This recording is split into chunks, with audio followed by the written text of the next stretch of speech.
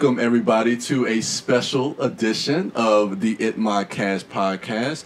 Uh, I am your host for this episode. My name is Bryan Young. I am the Turtle Dork. I am joined with Brad Gullickson, Mouth Dork. Welcome. Hello. Welcome to into your own dork cave. Welcome into my own dork cave. I like it. I love the decorator. It's nice. It's really nice. He's got a lot of good taste. He does. He really does. So um, we're doing our top films of the decade. Now I presented this to Brad a few months ago, and I was like, dude, you know, realize that this is the end of 2019.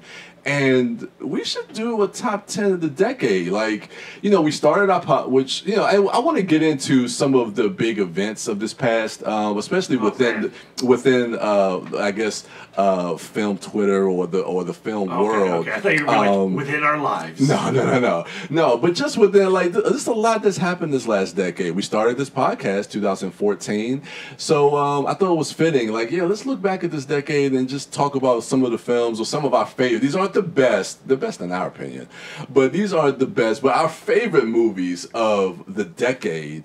Um, But let's be real. Like every best of list is actually a favorite list. E- Exactly. Art regardless, subjective. Yeah, regardless of what Dave Ehrlich or anybody else may say, it's subjective. Yes. It is completely Yes. subjective. But this has been a crazy decade, man. So there's been a lot of things that has, that have happened in this past decade. So within the film world, um, things like the Marvel Cinematic Universe, comic book movies that started in 2008, but we really saw the boom of comic book movies happen in this last decade.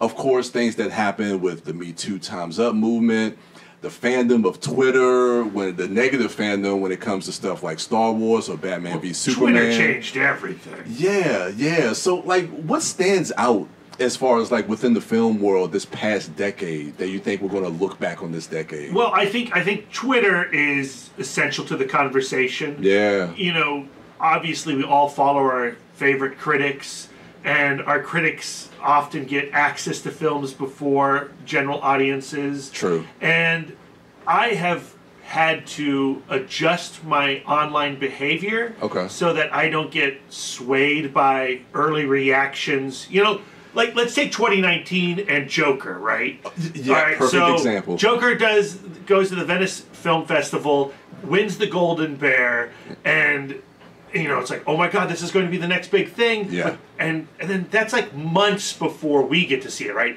And in the course of those months before we even get to watch the film, Yeah. the narrative has gone peaks and valleys, peaks and valleys. Yes. By the time you get to watch it, you feel like you've seen, seen the the film movie already. already. Exactly. Yeah, and so I feel like I've had to ease back on Okay. early reactions, unless I'm giving them. You know, Lisa and I we're about to go to the Sundance Film Festival, and then I'm going to bombard all of you jerks. Don't spoil it, Brad. with all my spoiler emotions. Don't do it. Don't do it. So I, I think Twitter uh, and, and, and film Twitter is Yeah. like this massive thing Yeah, yeah. is both great and terrible. Because you, you think at the beginning of the decade, Twitter wasn't what No. it is now. No. At 2010, Facebook was kind of, I mean, of course, we got the social network, which, surprise, is not in my top 10. Um, but that movie came out in 2010 at the beginning of this decade, and the boom of Facebook. But now we see by the end of this decade, Twitter has really kind of surpassed that. Oh, for Where sure. it's become that thing that people have come to. And, and I mean, it is the online platform that I like the most. Okay. But it took me a long time to learn how to operate it and use the mute Yeah. function and the block function. Yes. you have to strategize with Twitter. Yes, especially when it came to Endgame or Infinity War. Oh, or when Endgame was coming up, uh, I think I had 155 Oh words God. muted. wow. like every variation of Captain America, you know, Cap, Steve, Steve Rogers. Like, Just stay off Twitter, man. I can't. I Can't do I it. love Can't do it. Oh, What about you? Besides besides social media, Uh, social. You know what stands out? I mean, I know the Me Too movement was huge, and I think that's um, hopefully something that is going to change the landscape of film. But it, a lot of it, I think, it's really. I, I look at like the comic book boom that happened.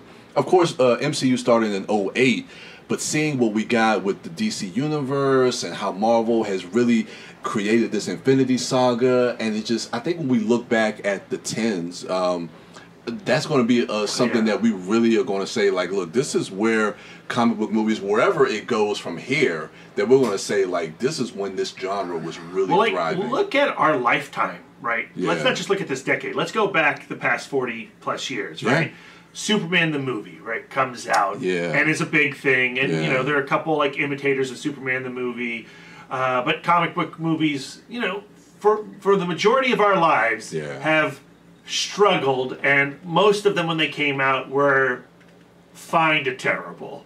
yeah And Yeah. it was really in the last 20 years with the launch of X Men and Spider- Spider Man, and of course Blade. Let's let's give oh the yeah love the Blade. oh yeah absolutely Uh, that that that fandom, like comic book fandom, started to have a, a large space in film. Okay. Right, and then Marvel comes in, yeah. Iron Man, yeah.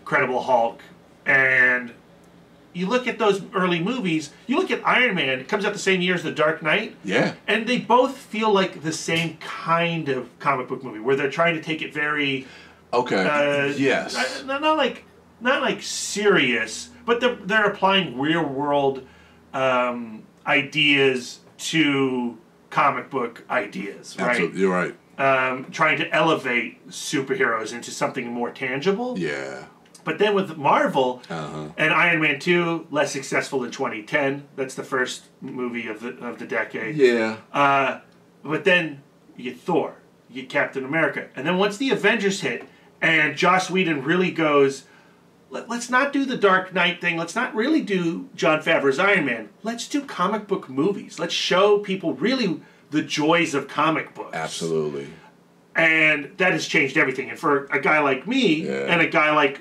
uh, all the dorks, absolutely we love that stuff, and Yeah. we've adored the MCU. yeah I know that some people don't adore the MCU, and that's fine. Yeah. It's a matter of taste. Yeah. You're wrong. The MCU is great.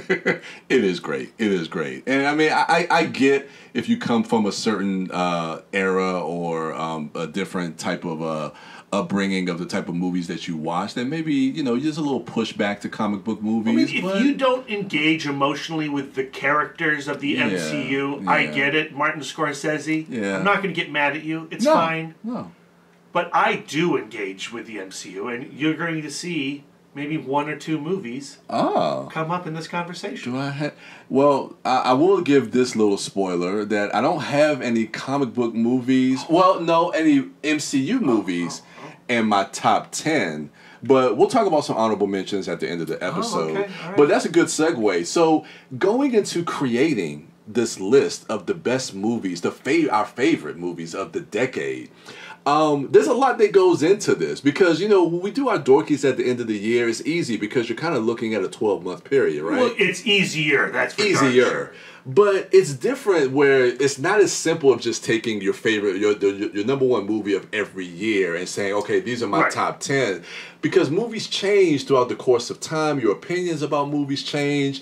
Um, maybe you revisit a movie and you see it differently. Some may fall as you think about them. So, like, it becomes a little bit more challenging, but still exciting to put these lists together. What was your approach? Uh, well, my approach was to start with the top tens, right? Yeah, to look yeah. at the last decade of, of top ten lists that I've constructed, and you know, coming to the realization that a lot of my number ones would not be my number ones now, and then in some cases my number eights and my number nines would be my number ones. Yeah.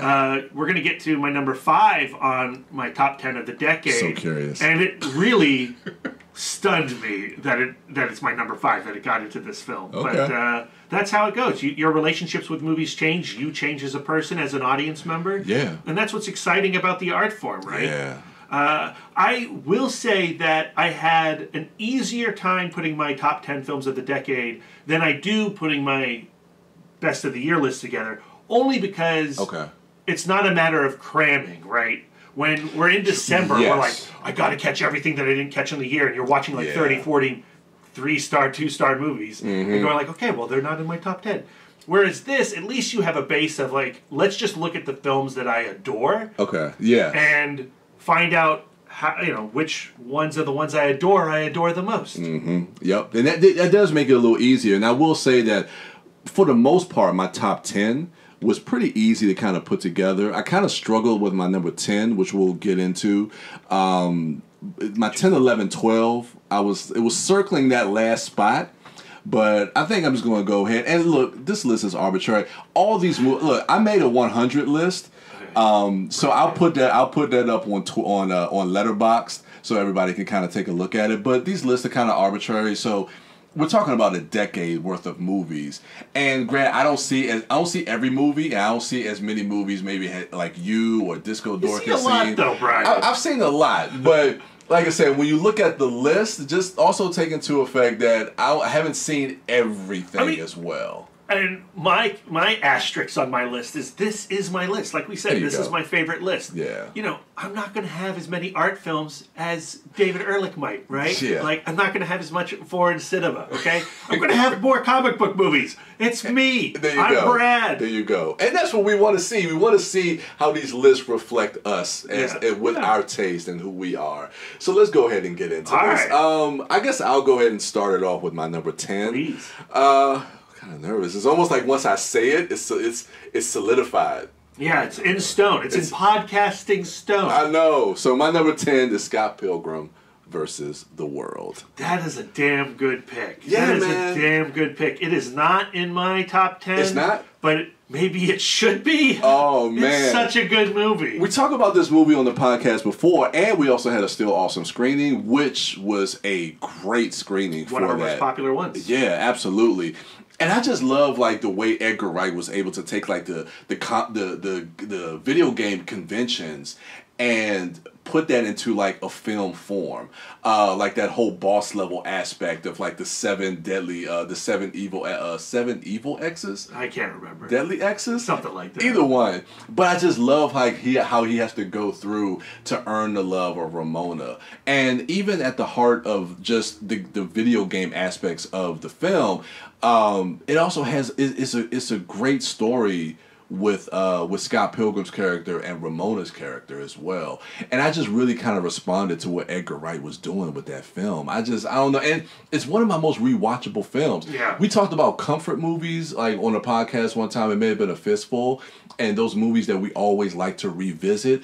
And Scott Pilgrim has like become like that comfort movie for me. It's that it's that movie I can just pop on at any time and just have on. It's not my favorite Edgar Wright movie, but it's probably his best. Okay. Uh, you know, we're saying we're not we're, all art is subjective, Yeah. but like the craft Yeah. involved with Scott Pilgrim versus the World is unreal. Uh, and, and, and so you know you see that craft uh, uh, you know elevated even in Baby Driver uh, in Yes. a different genre. Yeah. But but I I'm I do not know how I would make Scott Pilgrim versus the World. How do you achieve that movie? Okay. Uh, I do not have the skill set to do it. Have you read the uh the graphic novel? Yeah, the Brian Lee O'Malley books. I have. Okay. Uh, I don't love them. Okay. Uh, All right. I've uh, I've read my favorite Brian Lee O'Malley book is Seconds. I'm a big fan of that. Okay. I would highly recommend that book. Uh, but for whatever reason, I cannot engage with Scott Pilgrim, and that reason might actually be the film because I saw the film first. And once you see the Oh. film, it's Okay. hard to backtrack into the sequential form. yeah. Um, but it is a extremely faithful adaptation of the book, which All also right. might be why I don't love it as much because Hmm. I've experienced it first as a movie. Oh, that makes sense. Yeah, but like that makes sense. Scott Pilgrim, you know, performances are great, Yeah. story's great. Uh, you know, uh, the energy is amazing. It the is. editing is unreal. I love the editing, the sound effects, the music, the score. Like I have that score on my on my uh in, in my Apple Music on my phone, and I, I'll listen to it periodically, and I absolutely love the score and the soundtrack. The music in that movie is phenomenal. I love it, absolutely Yeah, love it. yeah. And everybody in that film has gone on to become uh, a captain in the Marvel universe. Uh, America and Marvel, they're there. you know? yeah, okay, that's right. Oh yeah, Brie and, and And uh, uh, Mary Elizabeth Winstead, she's the huntress in Birds of Prey. yeah, Comic book movies. and Michael Cera is. is Michael. He's in This Is the End, playing Michael Cera. There you go. and He's great in that. so what do you have at uh, number ten? Uh, my number 10 is not a comic book movie because I'm not basic. Okay? uh, my number 10 is my top film from 2019. Oh. Uh, it might in years going forward scooch up the list Okay. of my favorite films of the decade. But it's Bong Joon Ho's Parasite. Wow, number ten. Okay.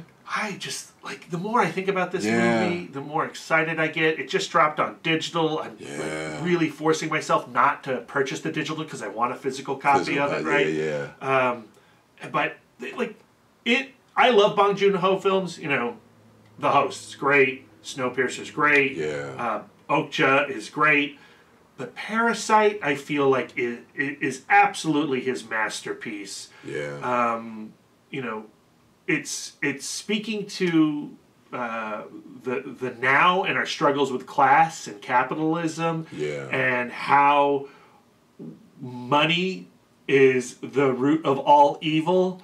And what's so brilliant about the movie is how you can't really come away condemning any character involved. you can't. Uh, even though my leanings might be more with the Kim family than the Park family, right? But Yeah. it, it, it the villain, the monster of Parasite, and it is a, a monster movie. There it, it is the parasite. It is not the parasite. It's the system. System. Right. That's, that's the villain. Um, yeah. And I, I just think I think it's it, it- like there's a lot to chew there. Performance again, great performances.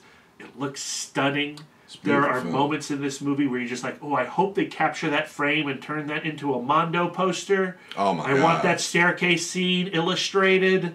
and just the architect and not just the architect of like the house but just the architect of the film like Oh, the where layers. where the park yeah the layers where the parks where they live compared to where the kims live and like how like and, and, and how that is visually portrayed in the film just everything about that movie is brilliant it's so funny you mentioned that and i'm not going to give anything away No because it's still fairly new.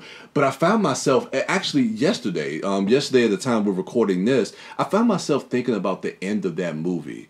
Um, uh, just the the end and like where like with the, The sun, final? yeah, Yeah, with yeah, the sun, yeah. and just that the whole idea of like you know you have these like lofty dreams, but They're are they they're just impossible they're, they're Yeah, just yeah, yeah, yeah. they're just dreams, and it's, um, because of where you were born and who you were born from and stuff like that.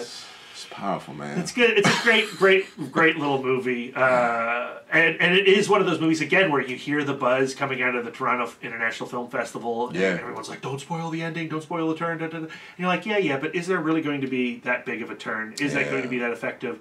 And then as you watch that film, you're like, "Oh, damn, this is not what I thought it was going to be." yeah. And you know when an when something is revealed when you go to another location. Mm-hmm. Whoa! I know, I know. You're right. It's a it's a phenomenal movie. So let's see what's going to happen during the Oscars this year. I mean, it's my best picture. Yeah, Yeah, it's not going to. it's going to get best international film. international film. so um, moving to our number nine. So my number nine I have from 2011. Um, Attack the Block. oh, that's a very interesting pick, Bryan. It's another. Oh, Oh. That's what you did it, when it come up again. so I'll just give you a little bit about what I think of this movie. Again, another still awesome. We're killing it with We're, still awesome. we're so good at selecting movies. We are. We really are. um, Attack the Block, man. I love this movie.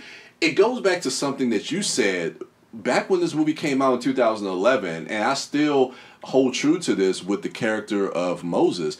I think he has probably one of the best arcs that I've seen um, in cinema this past decade. Um, it's it's so I don't know, it's just something I was able to really kind of connect to, just seeing his arc as far as like how people saw him, who he thought he was. Like it plays this whole thing about hero or being the hero, and he actually steps into that role by the end of this movie. And I don't know, there was just something beautiful about seeing that arc. And ultimately, when you have characters like this in film or in storytelling, that's what you want to see. You want to see a character transition. You want to see them have these type of arcs. And I just thought it was a great arc. And I love all and all of these characters in the movie, like all those kids. I thought all of them worked well together. It's so cool how they're introduced robbing Yeah. uh, that lady, Yeah. uh, Doctor Who. I'm, I'm blanking on her Yeah. Jodie Whittaker. Yeah, Jodie? Whittaker, thank you. Yeah. Uh, because it is a scary scene. Mm-hmm. You know, they are they are using their Uh, Yeah. um, what's the what's the what are they using? They're u- they're using their well, they're using her fear and, Yeah. and her probably racism Yeah. against her Yeah. to rob her of her cash Ex- yeah. because they deem her as an outsider, right? Mm-hmm. And when you watch that scene, you're like, "Oh, these are bad. These are some bad kids. I don't like these kids." Yeah. Uh, but then the way the film introduces who they are, and you you know you, you see their relationships Mm-hmm. and the, the the pain that they are all suffering. yeah. Uh, and Jodie Whittaker then gets to reevaluate her point of view of these kids. Yeah. You get to reevaluate your point of view and Yeah. challenge your own um, preconceived notions Yeah. about these characters. Uh, that's really cool. And I would just also say that John Boyega as Moses is phenomenal. Yeah. And you know, I'm so happy that he's done the Star Wars movies and he's solid in the Star Wars movies.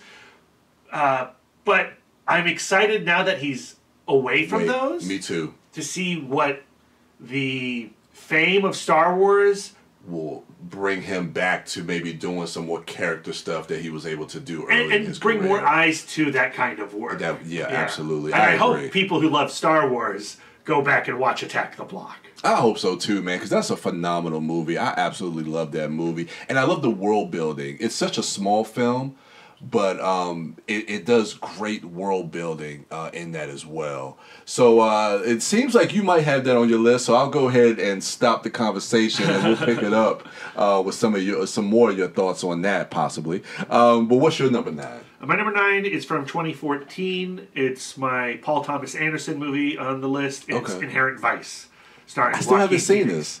I would be curious to see what you would think about the film. I've heard mixed things about this. Yes, and I've been in multiple audiences that have had mixed reactions Okay. to it. Okay. Uh, and, and honestly, like the first time I watched it, I enjoyed it.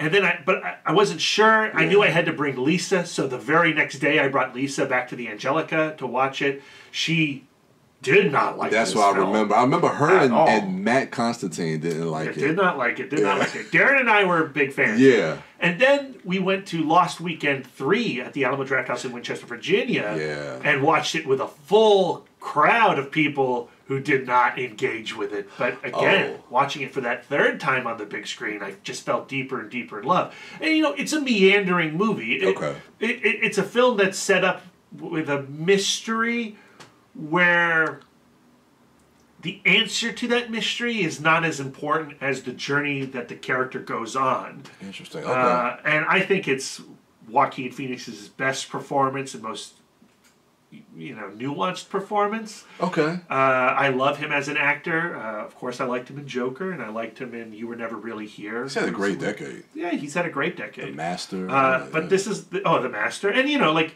the Master and Phantom Thread, and and those are the movies that you are seeing get talked about on the top ten lists. But for me, it's the wild, psychedelic, uncomfortable Yeah. journey of Inherent Vice. Okay. Um, yeah, it's a doped out noir. Okay. and I dig it. It, it- when you were describing that, it reminds me of that movie that I know you didn't respond to, Yes, Under the, Silver, Lake. which is like Inherent Vice light. Okay. I'll check it out. I think it's on some streaming I'm services. sure. I'm sure it is. It's long, right? And, Yeah. and I think a lot of modern audiences, although maybe the Avengers Endgame is changing this, Maybe. uh, it's kind of bulk at movies that push against that three hour mark. Yeah. And so if you're in a theater and you're going like, what's the point of all this nonsense? It's not like Inherent Vice in the last third is going to be like, aha, I told you. this is why you liked it. It- yeah. What you get in the beginning is mostly what you get by the end. Yeah. Okay. Gotcha. Okay. I'll, I'll look for that. I'll look for that. Um, I, I've been I've been staying away from it because I just don't know because I've mean- heard mixed things. I was like, eh. I don't think it's a Bryan movie. Okay. But I- I, I- would still like to get your take on it. Okay, I'll pull the trigger on it. I'll pull the trigger on it. So this is interesting. Um, my number eight is was a still awesome screening, and re- looking back at the decade and reevaluating. and I talked about this a lot as far as like how movies, your opinion about movies change, and I still think it's one of my favorite movies, but it's no longer my favorite movie of the year uh, of all time. It's The Grey. Oh, eight. It's number eight because I- looking. I thought this was gonna be like your one. Yeah, but looking at looking at the other movies on my list and how I personally respond to these movies, I was just like, wow, like okay, the grey is It just dropped a little. yeah, it just dropped. So I still did, did that still awesome screening have anything to do with it? no, no. It's just the movies that came out um, post when I've when I've since I've seen that movie. Mo- Some movies in 2018, which was a strong year of the decade, and 2015. Just a lot of movies that I found myself really responding to more than The Grey. Um, and I don't want to knock. I don't want to knock on that, but then it, it just made me think like, huh, maybe it's not my favorite movie of all time. All right, but tell us why you love it anyway. I love the Grey man. Um, it's that it's the journey of Liam Neeson. It's that it's that journey of him of a faithless man coming to terms and finding his purpose through um, through life and death. I mean, this is a movie about about life and death, and it's about him who a man who's it, it feels like he's I don't want to say he's so eager to die, but it's almost like he's lost so much that he's, in ready. despair. Yeah. Yeah. That he that he's ready if that time was to come. But once he's faced with that impending death is when it's almost like he finds the courage to finally fight for what he feels is worth worth living for. And I don't know, I just found something beautiful about that movie and the way Joe Carnahan directs that movie is extremely poetic. Um I love the score. Um damn, maybe it should have been It's a great movie. I love it as well. Yeah, these lists are arbitrary, so this could change. Look, but it, it definitely was going to be in my top ten. But I, I do, I do respond to this movie in such a profound way, and I just, I think it's probably one of Liam Neeson's best uh, performances because this came, I think, right after the death of his own wife, in uh, Natasha Richardson, um, is around the time when this movie came out. So it just, it, you can almost feel there was something authentic there um, that I think that he was really connecting with. Um, that I think the audience can can kind of connect with as well with his performance. I don't know. It's just it's just such a beautiful movie to me. So yeah, my number. It's my, Okay. my number eight. Damn. That's the first big surprise of this episode. ta- talking about it, man. I feel. Oh shit. Okay. Anyway. It's in Podcast Stone. There's no going back. there's no going back. No, ah, no. fuck. anyway, uh, what, so what's your number eight? Uh, my number eight is another 2014 film. Okay. Uh, it's my Wes Anderson movie of the decade. It's The Grand Budapest Hotel. Okay. It's just a confection. I think that word gets thrown a lot with Wes Anderson, but I agree Okay. with it. It is delicious. I It is delightful. it. I saw it once. You did, yeah. Yeah. I love how the film opens. It's this Yeah. teenage girl. She's approaching the gravesite that's simply labeled author. She opens a book to read at the author's gravesite, and then we cut to the author preparing to recount his uh, first trip to the Grand Budapest Hotel, and then the film flashes into the author's experience at the Grand Budapest Hotel, Mm. uh, and, and, and all the weird and strange characters that he Yeah. encounters in this fictional history that is on the verge of its own World War II, uh, and Okay. this um, uh, concierge played by uh, Ralph Fiennes and his um, bellboy, uh, bellhop, uh, Zero, uh, played by Oh, Tony- Tony Revolori. Yeah. Uh, and their relationship is just so like warm and sweet, but they're dealing with life and death stuff, and they're dealing with the heights of romance. Okay. You know, his character falling for Saoirse Ronan's uh, dessert maker, and I like, I just this is this is a blanket movie. This is you're talking Okay. about comfort foods. Yeah. Like this is something that I just really like to wrap myself in, and I am a big proponent of Wes Anderson's dollhouse filmmaking. I love it too. Uh, I love it too. And like, I I really enjoy when he embraces artificiality on every level of Mm. design, performance, narrative. You know, this is not real world, but it is speaking to real emotions. yeah, Um, yeah. So I don't know. Like the Grand Budapest Hotel is just, uh, I, I think is his crowning achievement. Yeah, he has this storybook like Yeah. like kind of visual style that I always respond to that I love that's very distinct to him. Lisa and I went and saw Bad Boys for Life at the Alamo Draft Yeah. House uh, the other night, and part of the pre-show, uh, they had the Rushmore Max Fischer players reproduction of Armageddon, where like all the Rushmore teens are putting on their performance of Armageddon, their idea of Armageddon. Yeah. And Wes Anderson's stuff all feels like a high school play that he's put on with a budget. Yeah, And I you're love right. You're right. that. Absolutely. Wow. No, that's awesome, man. I, I'm a, I'm a, I want to rewatch that because I love Wes Anderson. He's had a couple of movies this decade. Moonrise Kingdom, I think. Yeah, Moonrise Kingdom, and of course, like Isle of Dogs. Yeah. and, and I, I, I, I like all of them. Yeah, uh, for the yeah. most part, yeah. But Grand Budapest, that's the one. That's the one. That's the number eight. All right, moving to our number seven block. Now, after talking about the Grey, maybe I would swip. Uh, No, no, swap. Podcast Stone. Ah, damn it, Brad. Um, but I love this movie. It came out 2018. Um, it's a quiet place. Oh, okay, yeah, yeah, yeah. I, I I just completely responded to this movie in such a positive way. Um, I love the fact that you just kind of take a simple premise and it's just so effective, especially in the experience of watching it in the theater with a crowd. How it forces people to be quiet. It's like, good job, Krasinski. Let's do that more often. And it forces you to listen. So Yeah. e- even in that theater, you're paying attention to everybody like clinking their ice around and mashing of their popcorn. Absolutely. You're hyper aware. You're hyper aware of everything. And then the storytelling in this in this uh, in this movie, I think there is literally only two scenes that has actual dialogue in it. Um, that's the scene he has with his son at the waterfall, and then one that he has with uh, Emily Blunt after she's given birth when they're in the basement. But everything else is just done straight through just the emotion of the performances and the relationship that he has with uh, Millicent Simmonds, um, who is deaf in real life. The relationship that he has with her and the culmination of that, and I'll give spoil. This is about two years, about two years old, so I'll, spoiler warnings. But I'll give a, a spoiler alert for this.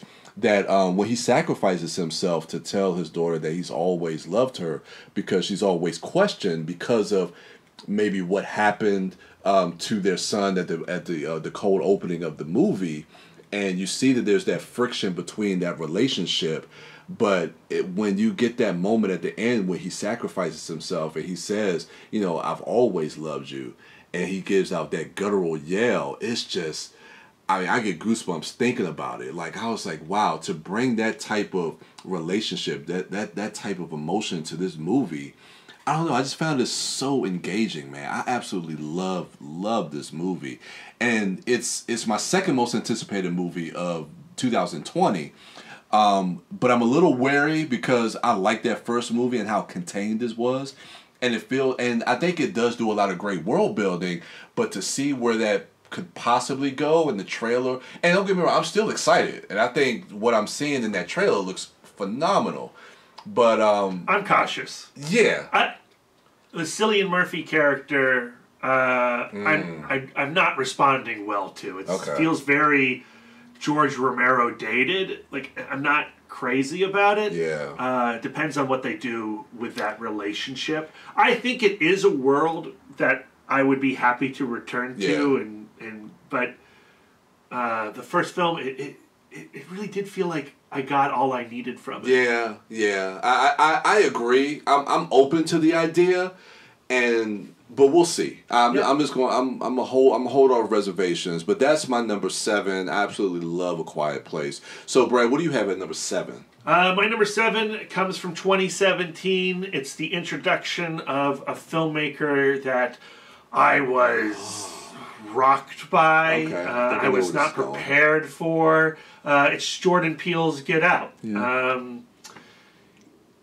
Key and Peele is next level brilliant. It's my favorite is. sketch comedy ever Yeah. because it's funny as hell and it hurts. Right? Yes. Like it every joke cuts. Mm-hmm. Every joke comes in and and and, and, and comments on how Yeah. terrible you are as an audience member uh, for not saving this world.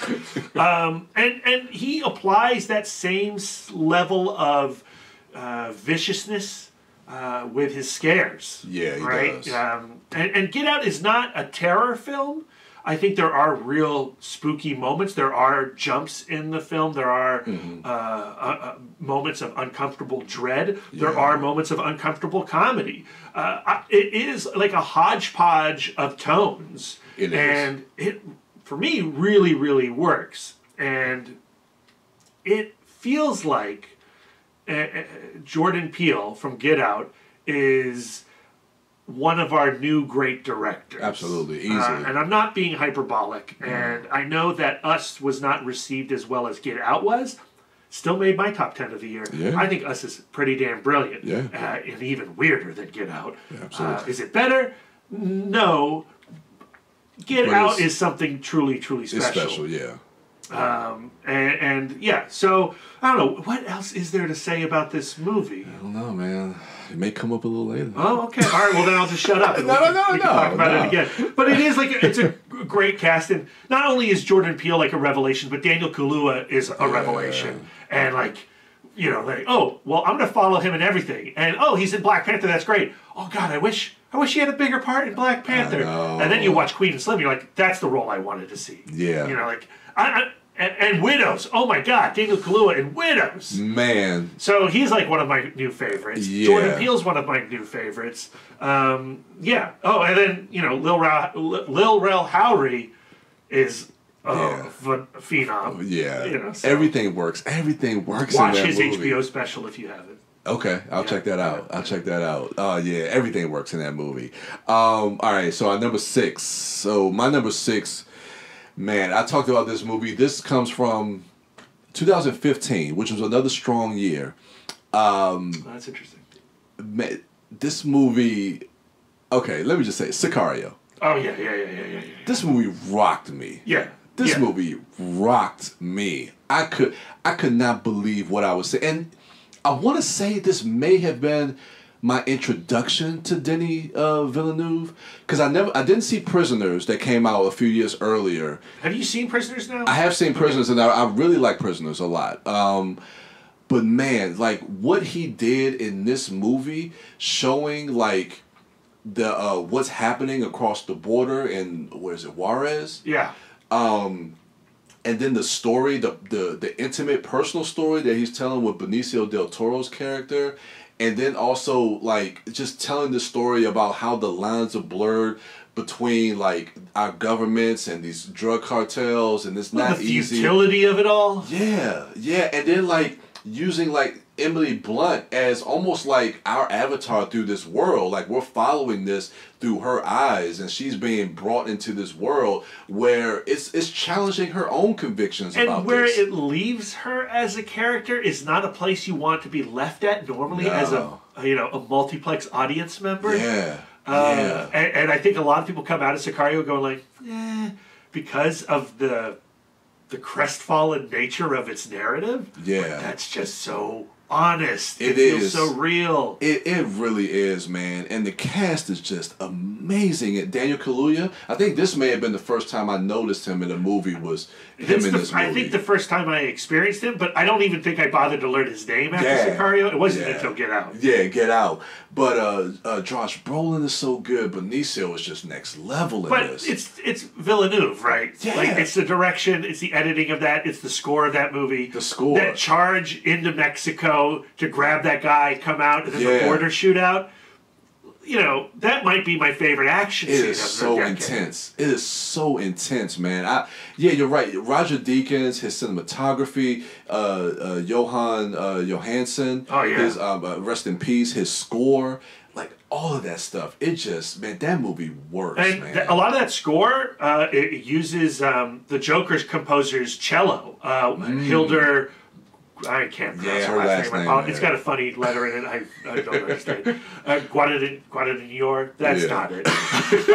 but like that like relationship that they had on that, and then they went on and did um, the Revenant score together. okay, okay, Like, it's some good stuff. okay. So she worked under Johan. Yeah, Oh, I didn't know that. yeah, yeah, yeah. Interesting. Yeah, phenomenal, man. I love man that that the end of that movie. Woo! I almost no, I almost Well, won. That's- Benicio. Benicio. Yo. Man, that that movie has stayed with me. So that's my number. Where we at? Number six. Um, what's your what's you what you got at number six? I just mentioned my number six is The Revenant, uh, also Oh. from 2015. okay. Uh, and it, it, like, to me, this is like, when you watch the opening of The Revenant, it feels like this is Citizen Kane of filmmaking. wow. Okay. Uh, you know, uh, Alejandro Inarritu. Uh, that I felt like I was watching the best, not my favorite. I felt like I was watching the best filmmaking going on in the world. Uh, like With the opening or the just the the, the oh, I would say the entire film, but the, Okay. the opening was it punched me. Okay. And I watched it on a screener link at home. Yeah. And I stopped it, and I like I watched the opening scene. I was like, nope, I need to see this on IMAX. I need to go to the AMC. I need to see this on the biggest screen possible. I need to see sit it in the front row, and my life be the Revenant. Okay. Uh, and I'm so glad I watched it that way on the biggest screen in our uh, area because it is it is it's it's a canvas it's it's it's a world it, it, it, it's it's everything yeah. um, and you know Leonardo DiCaprio finally got his Oscar for it. Yeah. Good for him. He ate a bit bear liver or whatever to get it. I think he is great in it, and I do engage emotionally with his quest for revenge against Tom Hardy, who killed his son. Like it is very traditional mm-hmm. Western revenge storytelling. Yeah. There's nothing really in that narrative that you can't find in a dozen other films yeah. it's the craft it's the direction it's the editing it's the cinematography it's the score it's the environment like the majority of that film is shot in exteriors Yeah. and that's insane and not only just like you know outside our apartment uh, in a parking lot like in the worst conditions on earth Yeah, I remember Uh, the making of that movie. They talked about just how they had to match the lighting. Uh, we heard similar stories with like something like 1917. But Yeah. Inarritu talked about that, how difficult the shoot was because of that. Yeah. And you know, because of the uh, obsession with DiCaprio's got to get his Oscar Yeah. in 2015, and because you know Inarritu had just come off of Birdman, which is a solid movie, Mm-hmm. and a lot of people love it, and a lot of people don't like it, and I'm kind of I don't care about it. Like I watched it, I go like, oh, that's cool, Okay. really interesting one take movie. Yeah. I I like the performances, but it didn't like sear into my soul. The Revenant did, um, and I wish people could approach it outside of the conversation of look how hard it was to make this movie. Look at the blood, sweat, and tears that Leo sacrificed to make this movie. Just sit in the front row of your local IMAX and let it take over your life. yeah. And so I, I, I love The Revenant, and I've watched The Revenant at home, and it's still very effective It on the the television. Okay. You got to shut off all your lights. You got to put your phone away. Yeah. But like, just it's just a it's a beautiful movie. It's a painful movie. It's an ugly movie. Uh, it's all those things. It's all those things you want. I'll never forget the experience of watching that in the theater. Now, I owned it on Blu-ray, and I've only seen it the one time in the theater. I haven't gone back to revisit it, but um, it was a sold-out crowd, and every is you know how you can feel the energy in the in in, in an audience. Sure. Like I don't know if it was the energy, but you could feel that everybody was engaged into the movie. Like nobody could take their eyes off the screen. And Leo is in this movie. Damn, near- I don't know if he's in every scene, but like he commands that movie. And I just that was one thing I noticed. I remember in being in the theater and I'm looking around and everybody's fixated. Like nobody could take their eyes off the screen. I just thought it was just a great experience watching that in the theater. So Yeah, you're yeah. right. You're absolutely right. Um, so our number five's All man, right, halfway here we there. go, here All we right, go. so I talk about this movie a lot, and I know they just had a screening at, at the Alamo Winchester. Um, it's a foreign film, my only foreign film in my top ten. You're more cul- cultured than I am. Uh, not, not really. it's Train to Busan. Oh yeah. Love this movie. I saw this at Lost. I can't remember which Lost Weekend, um, but it was the opening night film of Lost Weekend six or seven, maybe. Sorry, Andy. Um, There's a lot of lost. there's a lot of Lost Weekends. You get lost. You do get lost. But man, I the moment I saw this movie, it was in my top ten of the year. Um, I've kind of restructured a lot of my previous top tens, and going back to 2016, it is my favorite movie of that year. Um, sorry, La La Land, but, but yeah, um, but um, No La La Land in this decade, then. no, but I might talk about it in my honorable mentions. Okay. All right, you're, But- you're you're surprised at this guy. I know, I know, man. But um, Train to Busan, man, I just responded to that main character and the relationship that he has with his daughter and where he goes by the end of this movie. And then all of the other ancillary characters that, that are in this train cart, and how you really connect with all these different characters. And when certain characters die, you feel for them. It really does bring a lot of suspense and tension with the zombies. I think it's probably one of the best, if not the best, zombie movie in my opinion of the of the decade.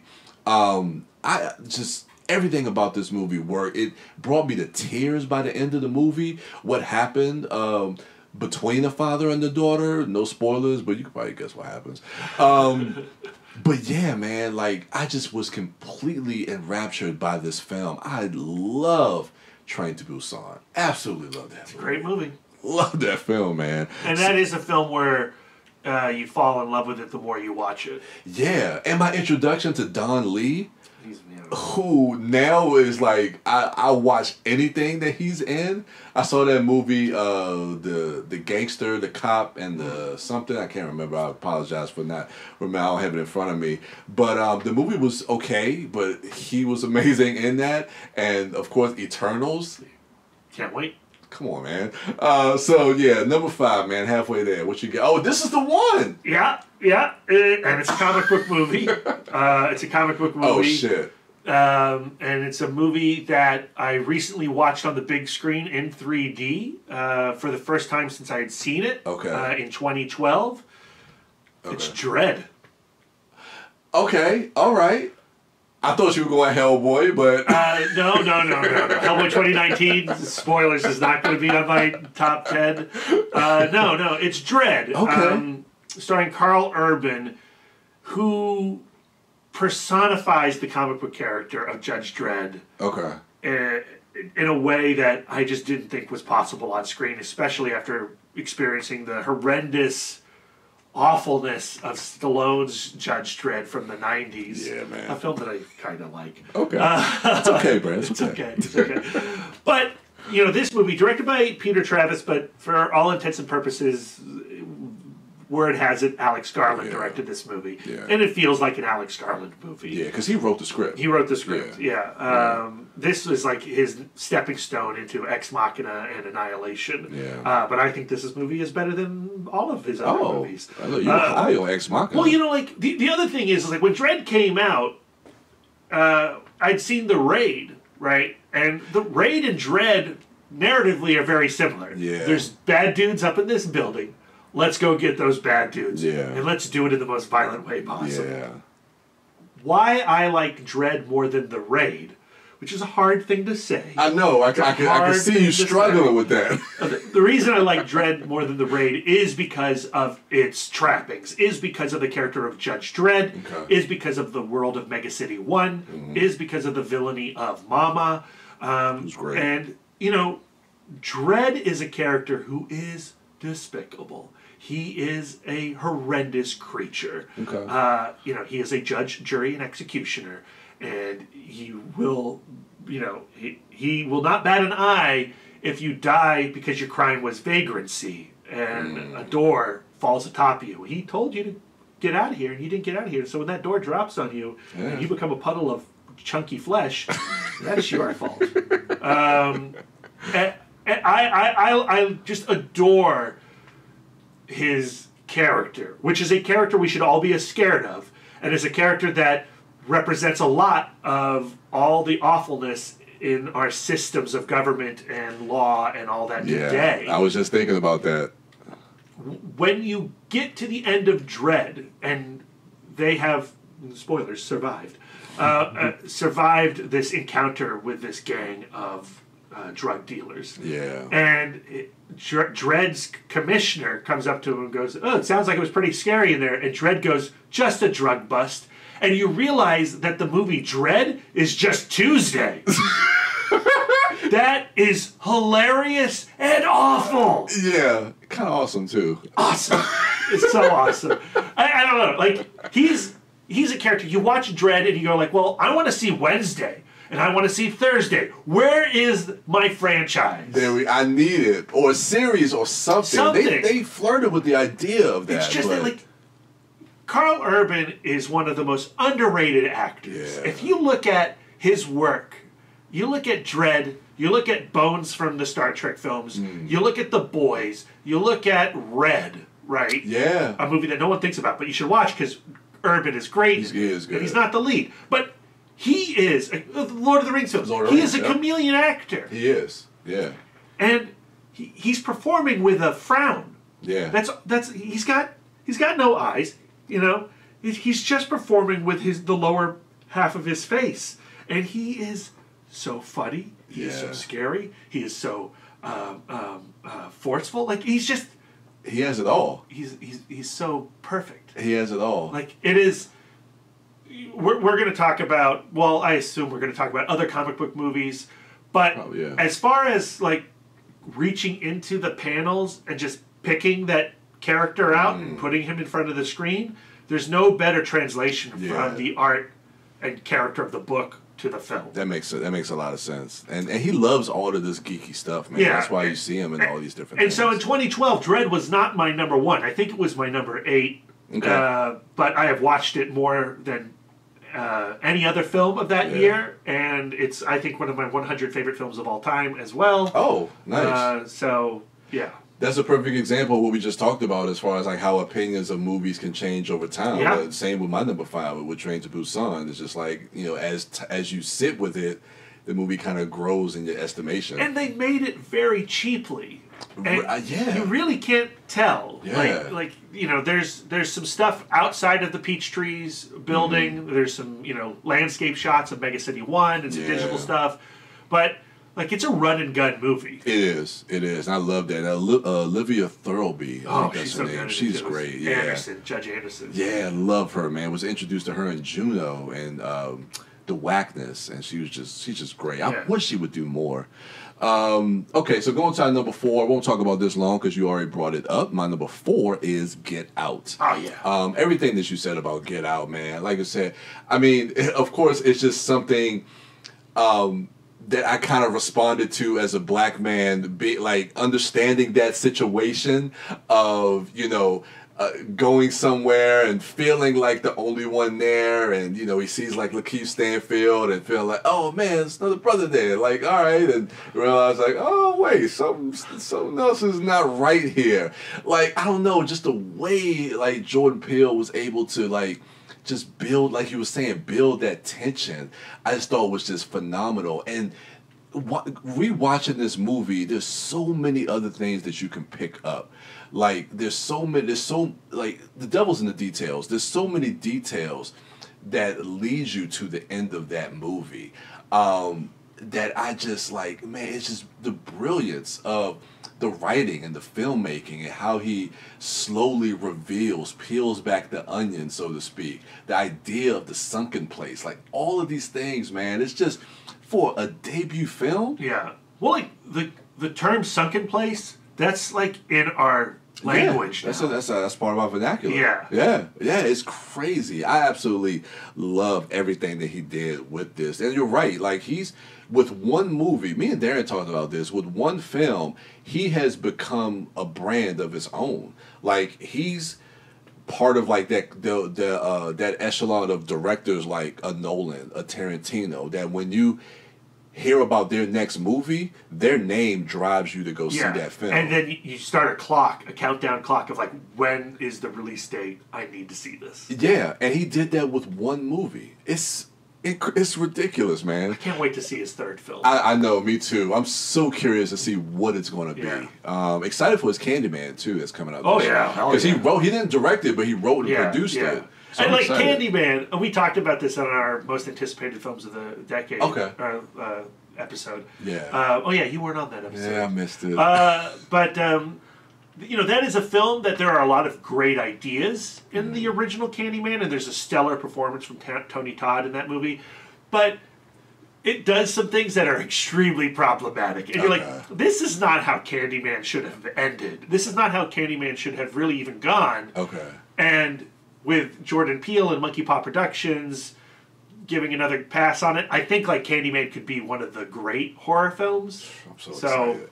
fingers crossed. I'm so excited, man. Uh, what do you have at number four? My number four is another movie we've already talked about. It's Attack the Block. Okay. Oh, it's pretty Uh, high. Okay. you know, uh, what more can I say? Like the monsters. We haven't talked about the monsters man. as far as like best creatures of the decade. Those little black inky blots of fur with Yeah. neon glowing teeth. Uh, again, shot on the cheap, shot practically. Uh, uh, phenomenal. Uh, Yeah. that shot of Moses, samurai sword in hand Oh, hell bent for leather down the hallway, Yeah, the corridor, and all those creatures jumping Love. behind him, all in slow motion. love it. Yeah, yeah, that's like, that's you know, that, for a sci-fi geek, that's everything you need in life. That shot, and that's that's a poster shot right before he opens the door, and it's the back shot of him.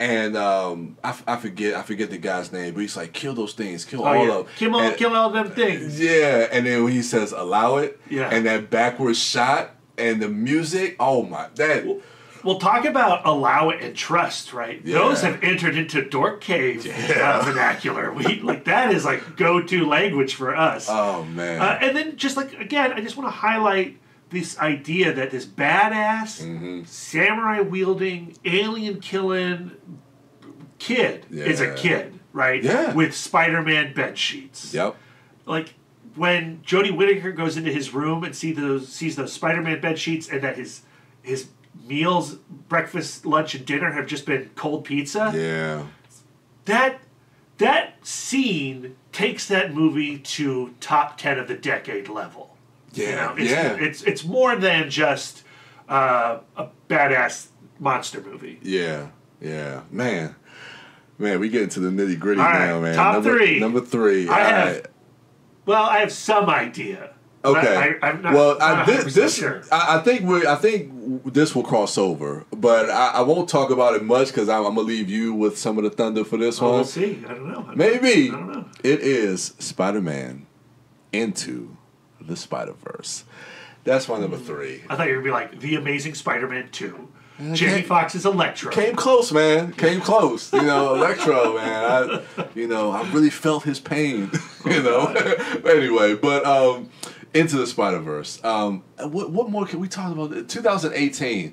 This was on all the dorks list. Wh- wh- Whether it was one or two, I think everybody had it like maybe in their top. It was like my number three of the year, but I jumped it up to like my number two after the dorkies. Yeah, I mean, this year was. If you were a comic book guy in 2018, this year was it was too much because you had Avengers: Infinity War. Oh my God. Oh my god! Uh, you had Black Panther, and I was like, well, I'm set on my Yeah. favorite films of the year. Yeah. And then in December drops into the Spider Verse, which was a movie I was curious about. Yeah. But even on those trailers, I, I was like, I don't know about this thing. Yeah. It looks a little weird. Yeah. It, it's it's amazing, man. I talked about the animation, and I'm not even going to talk about the animation. I'm just going to talk about the story and the characters. It's the character of Miles Morales. You talk about it a lot, like you say, like you say, anyone can wear the mask, and this movie personifies that. Like anybody can wear the mask, and I love the relationship that he has with Peter B. Parker, and just him coming into his own. Um, again, we, when I talk about Moses from Attack the Block, we talk about character arcs. Um, another great character arc for a character like Miles Morales. Um, him coming into his own as Spider Man. That leap of faith, like everything that leads to that moment where he makes that leap of faith, and then that that that montage that leads to him jumping off the building. Uh, it, again, goosebumps, man. I just, it's just such a a personal film, an intimate film that is about more than just superheroism. uh, Superheroism. Yeah, that's superheroism. Yeah. Um, but yeah, man, it's it's about um, a kid that has all these insecurities that's finding himself, that's coming into his own, and all the other characters have their own personal stories that they're dealing with as well. Like just Peter B. Parker with him, like uh, that moment at the end where he doesn't want to go back. He wants to sacrifice himself and and like um, Miles Morales says, like, look, man, it's like you got to go home. It's just like, and he's like, it's a leap of faith because of the relationship that he had with Mary Jane in his own universe, and the struggles that he was having, and how Miles in that moment was able was a teachable moment for Peter for Peter B. Parker. It's just so many different things. So I think as fans, we become so precious with our favorite characters, right? Yeah. Like we love Spider Man. Spider Man's my favorite character. Yeah. Peter Parker. God, I love Peter Parker. You know, don't mess with Peter Parker. Yeah. But what's brilliant about Spider Man into the Spider Verse is it reminds you that it's while it is about the character that you love, it's also about the idea motivating that character. True. You know, True. and how with great power comes great responsibility Yeah. is something that is not necessarily tied to Peter Parker. You True. can apply that Yeah. to your life and to other characters' lives. And what's so awesome about Into the Spider Verse is that you get to see how all these variations of uh, the, of, Peter Parker's origin um, adapt and, and excel because they are trying to live up to this idea of with great power comes great responsibility. Yeah. And I think that really makes Spider Man Into the Spider Verse extremely special and highlights the brilliance of that old 1963 comic book written by Stan Lee and illustrated by Steve Ditko. Okay. Um, and, and when you get to the end of Into the Spider Verse and you know Ditko's name goes up and Stan Lee's name goes up and you get that quote from him yes. you know, like you go like, yeah, it's not, it's not just about Peter Parker and Spider Man, and it, it, it, we we can all wear the masks. Okay, yeah. You know, like we can all step up. We can. We can, absolutely. Um, so yeah, that's my number three. Maybe it might come back up, maybe? Yeah, maybe. I don't know. I don't know. What do you have? Number at- three, What do you, you have? jerk. I know, I know, I know. I'm, t- I'm a terrible human being. Uh, what do you have at number three? Uh, number three, another comic book movie. Uh, my only MCU movie on the list, uh, and I adore the MCU. Uh, it's Captain America: The Winter Soldier, yeah, yeah, 2014. yeah. Uh, the first Captain America movie after the first Avengers. Uh, what I love about this storyline, and it's something that the comic book character has uh, had to deal with as, as well, is you have this person, this weak child, who, uh, because he wants to contribute to the planet and to his country, agrees to scientific experimentation that turns him into uh, a demigod. And he fights for America in World War II. Uh, and he gives his entire being Yeah. and his life. He sacrifices himself to it. He goes into the ocean. He comes out. He finds a country in a world that looks nothing, Nothing, like he remembers. It doesn't operate. It doesn't hold the same values that he once held. Yeah. uh, and it's not the america that he once lived in. Uh, but it's all he knows so when nick fury says cap we could use you on in our team in our military Yeah, he's up for He's it. up for it, Yeah. and he, you know, he fights the space aliens. and then in Winter Soldier, he's following orders, but now he's going, ah, why am I fighting this? Do I like what these orders are asking of me? Do I understand what these orders are asking of me? Yeah. Do I like where the direction of my country has gone since I left? Yeah. And maybe to be the best American that I can be Yeah. is to go, this ain't right. Mm-hmm. And I know I have to stay true to my values, and I'm going to have to challenge what you're doing. And that's that is the ultimate Captain America story. Yeah. That's what Captain America should be about in 2019. In 2019, yeah. In right. 2020. 2020. Yeah, right now. Like Captain America should be going, you know, um, why did this happen? Why are all these school shootings going on? Yeah. Hey. Why, why are cops shooting black black kids? Yeah. What's right. happening? What's yep. So like that's what Captain America needs to do, I would love to see that. uh, yeah. and that's what I mean. Like, if give me the script, Yeah. and we're gonna we're gonna find a Captain America that a lot of people are not gonna like because the one that we need. but the one that we need. Yeah. The one that we need. You know, because su- superheroes are always going out and saving the day, But what do they do when they're saving the day? When like Superman's, you know, fighting uh, Lex Luthor and the Legion of Doom. What about all these people starving to death? Yeah, yeah. So like, I, I like it when a story like the Winter Soldier comes around and Captain America has the sh- you know the shield Yeah. lifted off of his vision. Yeah, and you can Um, see clearly. And, and, you know, like the Russo brothers bringing their love of 70s spy thrillers to the MCU and, and, and delivering a film that really doesn't look or feel like any of the previous MCU entries. Doesn't. Uh, I, I, I appreciate that as well. I think this is the film that truly elevates Scarlett Johansson's Natasha Romanoff to a, a, a fuller character. Okay. Um, uh, yeah, and a Falcon. I mean, there's no better scene in the MCU than the opening of Captain America: The Winter Soldier, where Oh, Steve is you know running laps around the Falcon uh, at the Smithsonian, Yeah. and they connect as soldiers who um, are having difficulty uh, getting back into home life, back into the world.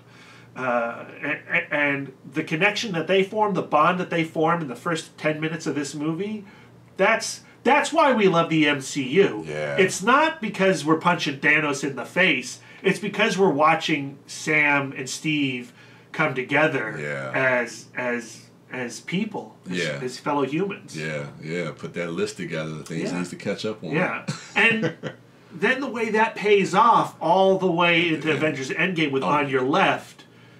Like when you hear On Your Left at the end of Endgame. That brought me to tears. yeah, man. if you're not crying, then you don't like these movies Yeah. get the hell out of the theater. Why are yeah. you here? Why, yeah. Get, get out. Shut up! Stop complaining. Yeah.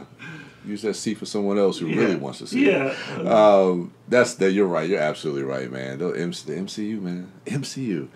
All right, let's get down to the nitty gritty. Number two, my number two, 2008. 2018 was a powerful, powerful year. Interesting. We talk about um, a lot of the angry cinema. I know Lisa's one of her favorite movie was Sorry to Bother You, Oh, which was such an angry movie. Um, and my favorite movie of that year was Blindspotting. Blind Spotting is just a movie that just just touched me deeply. Um, just that relationship between Daveed Diggs and Rafael Casal.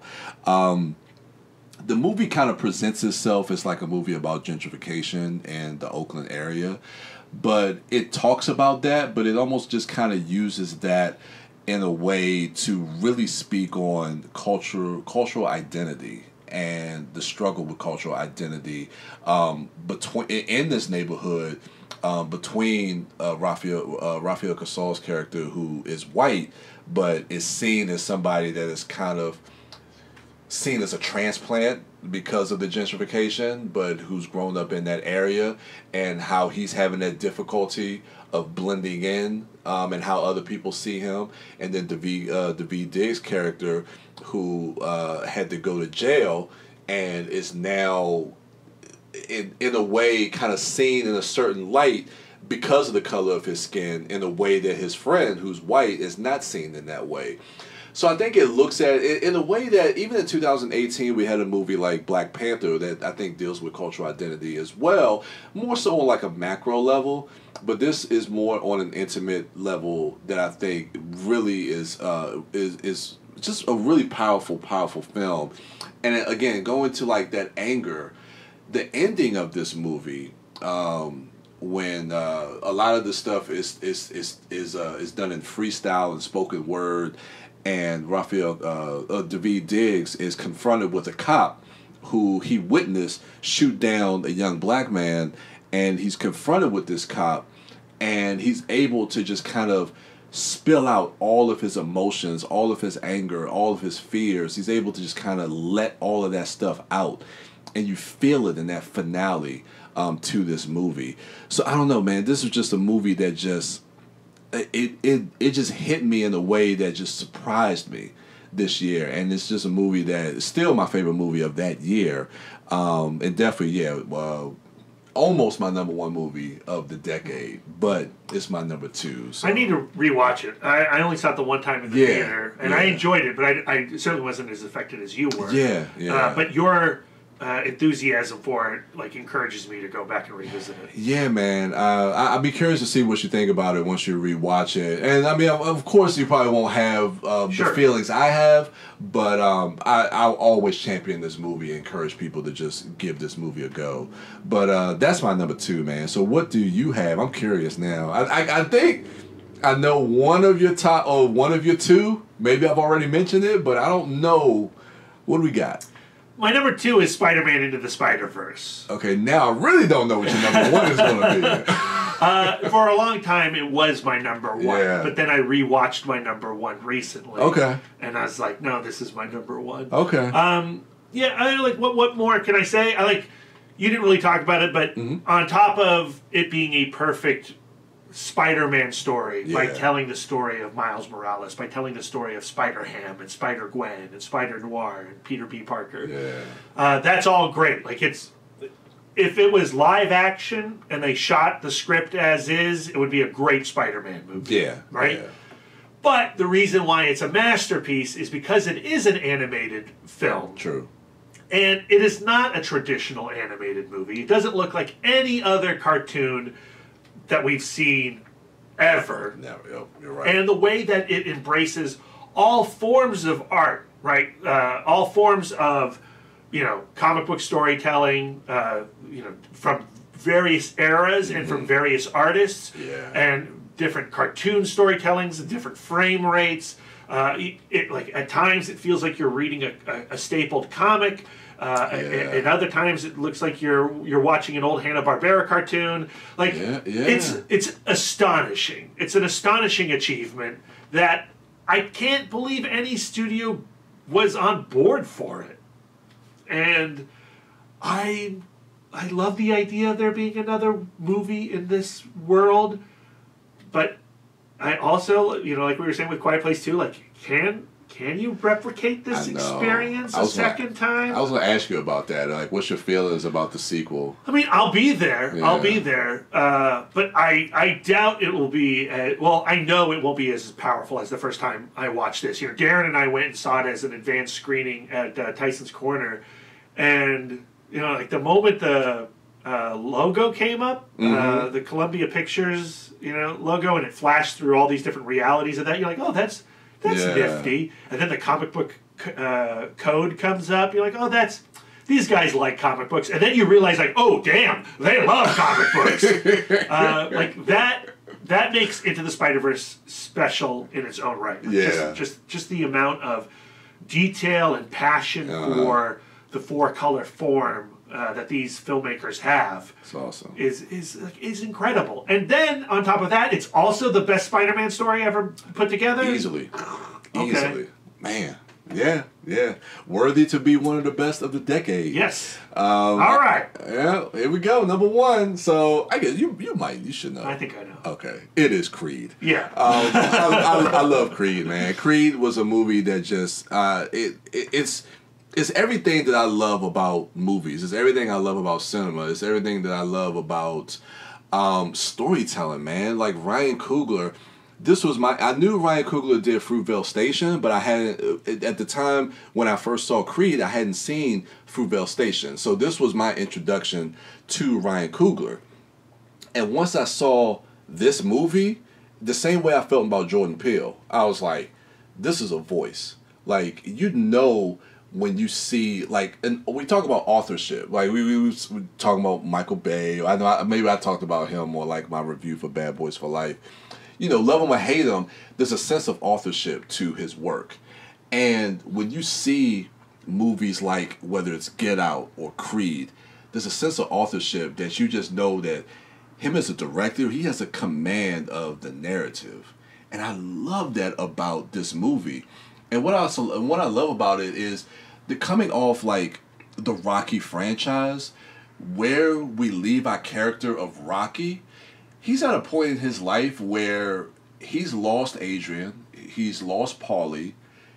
He almost has just like with He's lost his son for all intents and purposes. yeah, he has he has an estranged relationship with his son, almost like with Liam Neeson's character with the Grey. You almost feel like he's ready to go, and he finds purpose with the, basically the, the illegitimate son of his best friend Apollo, and now it's almost like they both needed each other in this moment. And I love Michael B. Jordan's performance in this. I love how he has the pain, the anger, the trauma of his father not being there and feeling like he has to live in his father's shadow. And the moment at the end of this movie when Rocky's about to stop the fight and he says, I gotta prove that I'm not a mistake, that just destroyed me. Because you realize what uh, Adonis was fighting for this whole time. Um, it, it's just, I, man, I, I don't know what more to say about this movie. I absolutely love Creed. When you watch Creed, you see a filmmaker who absolutely loves Rocky movies Yeah. and is going to deliver on all the geeky Rocky moments. Yeah. Um, and it it is that, but then it's also its own thing. Yeah. And so knowing that Ryan Coogler was going to direct Black Panther after this, you go, "Oh, he's going to make a great Black Panther movie." Yeah. Like if he has as much passion for the characters of Black Panther and the world of Marvel that that he does for the world of Rocky, Mm-hmm. uh, he's gonna just destroy that film. Yeah. Uh, and and, and, and from, from my opinion, he did. Yeah. Um, but but at the same time, I think Creed is an even better uh, love letter to like to the Rocky films than e- even Black Panther is to Black Panther stories. Okay. right? Okay. Like to me, it's just it's so in line. It so perfectly replicates the Rocky stories, and then just yes. takes it up to it. It just deviates a little bit Mhm. to, to be its own thing. yeah, you're It's- right. It it feels like well, this movie has to be in the Rocky box set, right? Mm-hmm. Like if you buy the Rocky box set and Creed's not in it, then it's not a Rocky not. box set. No, no, no, not at all. Not at all. So, yeah, man, Creed. That's my favorite movie of the decade. Yeah, uh, I, I I don't know if I was confident that was going to be your number one when we started, but I knew it was going to be in that top Tough, three yeah. for sure. Yeah, absolutely. So, the moment of truth, man. I have no idea. Uh, I think you won't be surprised once I say it. Okay. Uh, it's Django Unchained.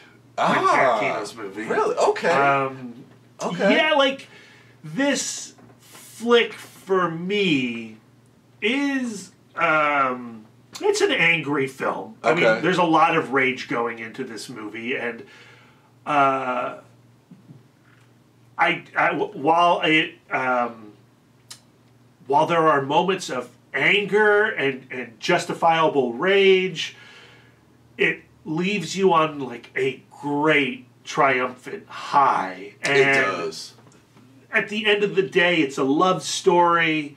It, it, it- it's a it's a person who who knows that he has to do whatever it takes to be there and help the woman that he loves. Yeah. and um, Yeah. he can't stand the world that he lives in, uh, and he knows that he may not be able to uh, change the, that world, but he can he can do right by him and his lady. Oh yeah. Oh yeah. And I think Jamie Foxx is phenomenal uh, in, in, in this flick. Uh, Yeah. The way he starts as uh, this person who has had everything taken away from him, and he's at, at a, the lowest point that he possibly could. Yeah. And when he is broken free from that chain gang at the start of the film by King Schultz, uh, played by Christoph Waltz, and Christoph Waltz treats him like a person. Yeah. Um, and you know he's allowed to pick whatever outfit he wants, and so he chooses that insane blue valet uniform. Uh-huh. Uh, and they infiltrate Big Daddy's plantation. And that scene where he finally finds the three brothers yeah. whipping that woman, uh, and he goes right up to Little John and or Big John, uh, and puts a bullet right through his chest, Mm-hmm. and that like that shot where he is standing, you know, Oh, yeah. triumphantly in that ridiculous blue valet uniform, and the camera is low Low. angle and put dollies up to him Yeah, and the music swells. and the music swells. right before he pulls that little taxi driver pistol, psh, that's like such a great moment. and then you get to Candyland, and it's this horror showing. Yeah. And, like the way he introduces Mississippi into the film with the overhead shot of the chain gang and the slaves all in those diabolical collars and the words Mississippi and you have descended into hell. Mm-hmm. And then you meet Satan in the form of uh, Calvin Candy Calvin Candy, yep. and Samuel Jackson. Like, is there a more complicated and ugly performance this decade than No. what Sam Jackson delivers? I mean, his his character. I mean, you talk about like certain phrases that become part of our vernacular and pop culture. Like his character has become that in like the pop culture zeitgeist. Yeah. As, far, as far as like thinking that whole idea, especially within the black community, like that whole idea of like crabs in the barrel. Um, he personifies that, and he's so good in the movie, though, man. He's uh, amazing, uh, uh, but it like it's all hard to watch. Yeah. Like a, a- this movie, there are like these moments of like beauty and, and humor and like kick assness. Mm-hmm. That's a word, right? Kick assness. Yeah, we can, Uh, we can make it one. But when they get to Candyland, and it's like, okay, they're close to freeing Broomhilda Mm-hmm. von Shaft. They're close to freeing her, uh, rescuing her Yeah. uh, from the you know the, the dragon, uh, and how that all relates to like German mythology and you know King Schultz and like love and all that stuff. Yeah. Um, I, I like I, I just I just adore like the mythology of Django Unchained, and when he fails, when when King Schultz fire ha, you know has to kill, spoilers, has to kill uh, Calvin Candy, yeah. and then the world crumbles into gunfire, Mm-hmm. and he is captured once again and is going to the uh, Lindicki Oh, mining mining something. yeah, Yeah, yeah. corporation. Uh, and then when he frees himself from that by thankfully having that handbill still in his pocket and tricking those three dopes Yeah. into letting him go so that they can all go get that money at Candyland.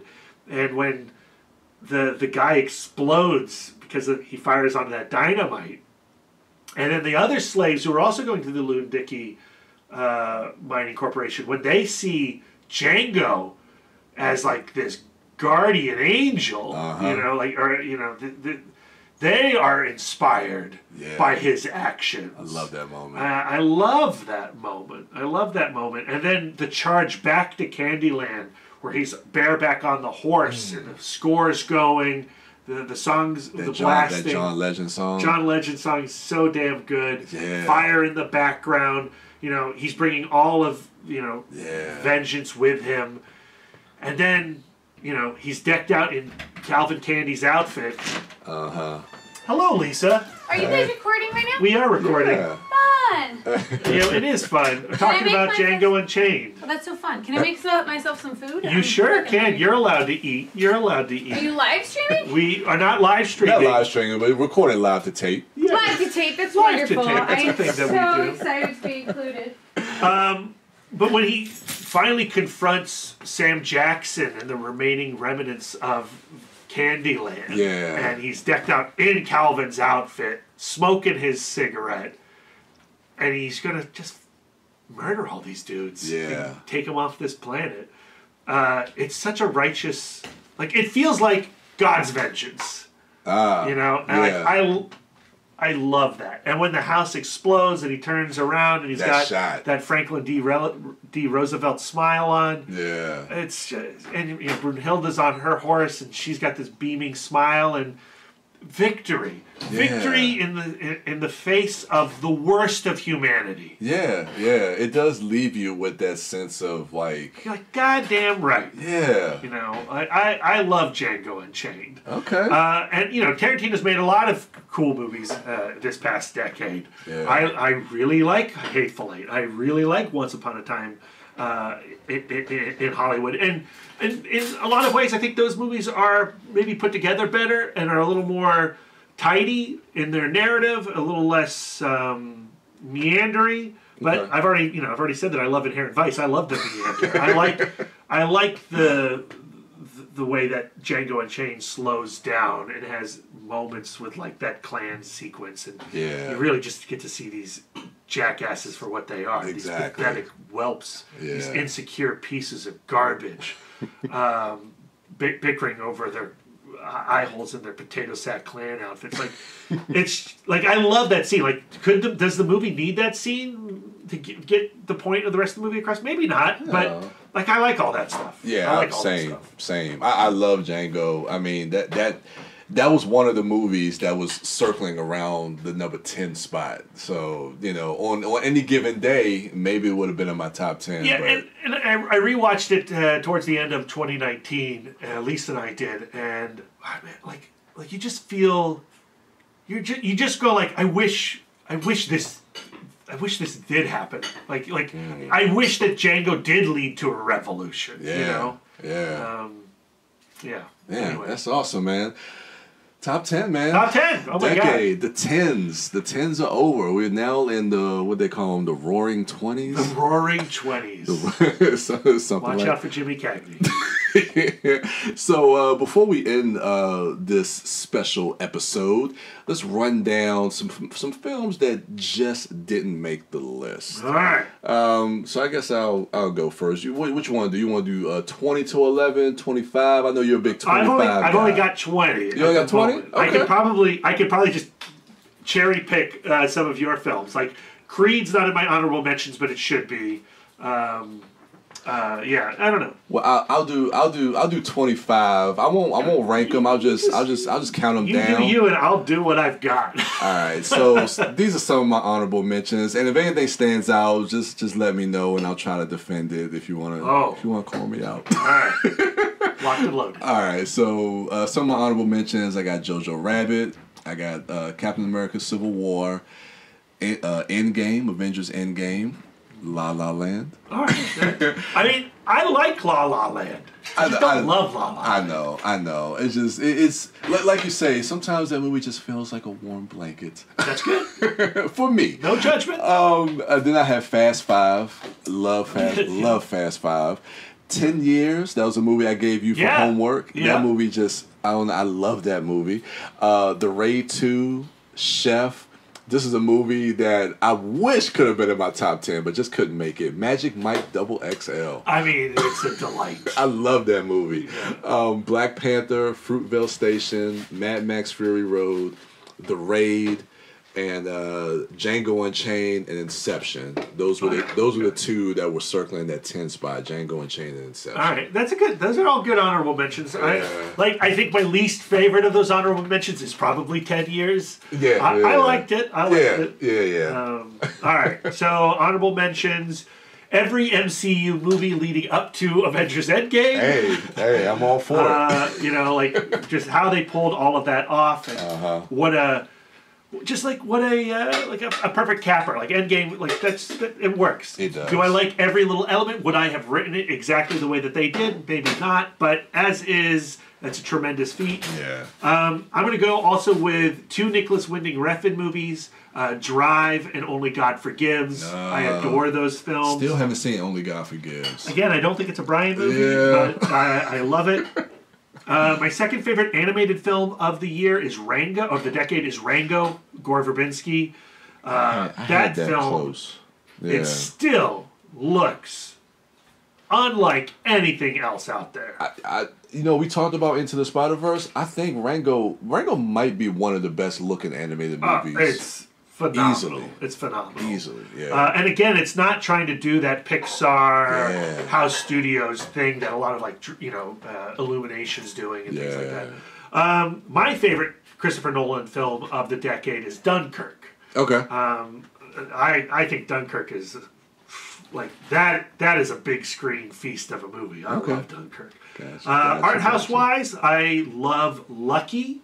Uh, that Harry Dean Stanton's last film, directed by John Carroll Lynch. That was that was great. It's, it's a, I cherish that movie. Um, what Matt Reeves did with uh, War for the Planet of the Apes, um, I love that prequel trilogy. I, I, Yeah. and the mocap technology and what Andy Serkis does with that, it's phenomenal. Taika Waititi, you had Jojo Rabbit. My Taika Waititi film of the decade is still Hunt for the Wilderpeople. Okay. I love that movie. Um, the Grey, Joe Carnahan. Yeah. Uh, Slow West uh, from director John Maclean. Yeah, every time that movie is in my top 100. Again, great movie, but I every time I see that movie, I think about you because I remember when that movie came out. Like you, you and Lisa championed that movie Yeah, a lot. I yeah. loved it. Loved it. Uh, Sicario and Blade Runner 2049. Uh, Denis Villeneuve. I think those movies are just absolutely Okay. stunning to look at. I need to at. rewatch 2049. Um, and then Man from Reno, a movie that no one talks about. Okay. Uh, director Dave Boyle saw this at Lost Weekend Three.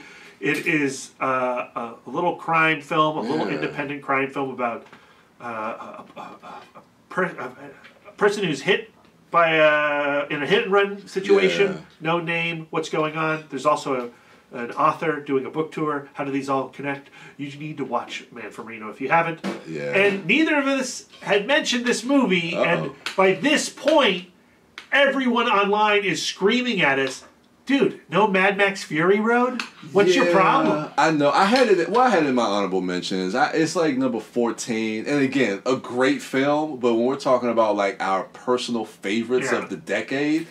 I, you know, I mean, I, I'm not disco dork. I can't, you know, I mean, I me. love Mad Max Fury Road. I think it's great. It was in my top 10 of that year. Yeah. But, like, do I love Mad Max Fury Road as much as I like Mission Impossible Rogue Nation and Mission Impossible Fallout? No, I don't. I'm Brad. Hey, and that's all you can do, man. Is Yeah. be, be Brad. Yeah, be Brad. yeah, Um, so yeah, man, it, it's been a great decade. It's been a great decade. Yeah, looking back, um, some some strong years. I think 2015 and 2018 were probably some really strong years. Um, but overall, man, I think we got some really good. Films. Honestly, like, if you look at the last 30 years, Yeah. I think this decade's my favorite. Like, I like it more than the aughts, and I like it more than the 90s. Okay. Um, yeah, it's just I just I think this was a really phenomenal decade of cinema. Wow. Wow. A lot of comic book movies, guys. Yeah, there you go. a, lot, a lot of comic book movies. So that is our episode Oh, for. oh, and the raid. got? You, mentioned the raid films, Yeah. but I yeah, the raid movies are my honorable mentions too. Oh, absolutely. Raid two in particular. Okay. Like, it's so not the raid, but Yeah. the raid two. Uh, yeah, it's just there's a lot going on. There- There's a lot. Oh man, that kitchen fight. Whew, Yeah. I can rewatch that just on repeat. Love it, love it. Um, so yeah, that that does it for this special ITMOD episode for our top ten movies of the decade. We are definitely looking forward to see what the twenties have in store for us. So yeah, go ahead and check out the podcast um, at ITMODcast on Twitter. You can find this episode and all of our other episodes on Apple Podcasts and everywhere podcasts can be found. And that is going to do it for us. Yeah. And uh, look forward to just watching more movies. More movies. All right, guys. So until the next 10 years, see you later. Thank you